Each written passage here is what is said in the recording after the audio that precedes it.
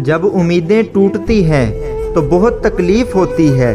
लेकिन ये भी सच है कि हर टूटी हुई उम्मीद हमें हमारे रब से जोड़ती है। जब आपका दिल दर्द से भर जाए और आँखों में बेतहाशा आँसू आ जाएँ, तो अल्लाह रब्बुल इज़्ज़त से चुपके चुपके बातें कर लिया करें। वो सब जानता है लेकिन आपसे सुनना चाहता है। शैतान की इंसान पर की गई सारी सरमायाकारी उस वक़्त मुकम्मल तौर पर डूब जाती है, जब बंदा सच्ची तोबा करके अपने रब के दर पर झुक जाता है। जो किसी का बुरा नहीं चाहते, उनके साथ कोई बुरा नहीं कर सकता। ये मेरे रब का वादा है।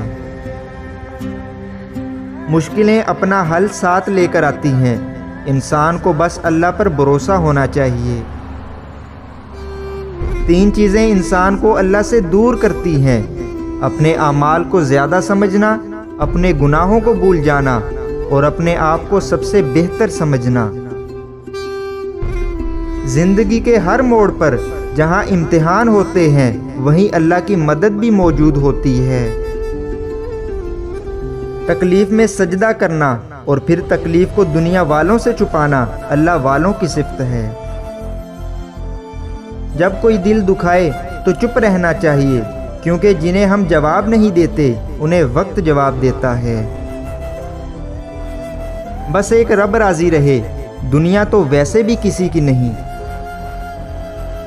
हर इबादत की कज़ा है, लेकिन इंसान का दिल तोड़ने की कोई कज़ा नहीं। जिल्लत के लिबास का कोई नाप नहीं होता, ये हर जिस्म पे पूरा आ जाता है। कोई रास्ता नहीं, दुआ के सिवा, कोई सुनता नहीं, खुदा के सिवा।